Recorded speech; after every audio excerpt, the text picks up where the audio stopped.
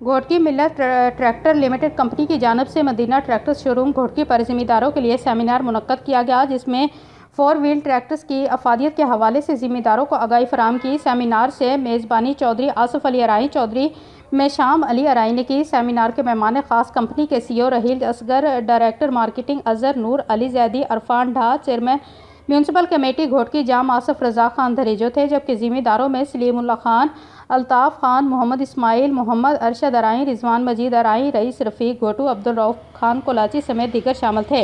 इस मौके पर कंपनी के सीओ रहील असगर और चौधरी में शाम अली अराई ने chairman municipal committee Ghotki Jam Asif Raza Khan Darejo को शील्ड का तोहफा पेश किया। इस मौके पर सेमिनार से खिताब करते हुए कंपनी के CEO Raheel Asghar, director marketing Azhar Noor ने कहा कि आज गोटकी में सेमिनार मुनद करने का मकसद था कि हम जिम्मेदारों के पास जाएँ और अपनी नई टेक्नोलॉजी फोर व्हील ट्रैक्टर के बारे में ज़िम्मेदारों को आगाह करें। उन्होंने कहा कि ये ट्रैक्टर न सिर्फ़ थोड़े वक्त में ज़्यादा काम करने की सलाहियत रखता है, बल्कि दस फ़ीसद डीजल की बचत भी करता है। ज़िम्मेदारों को चाहिए कि फोर व्हील ट्रैक्टर का इस्तेमाल करें, क्योंकि इससे उनके काम के वक्त और ख़र्चे की बचत होगी।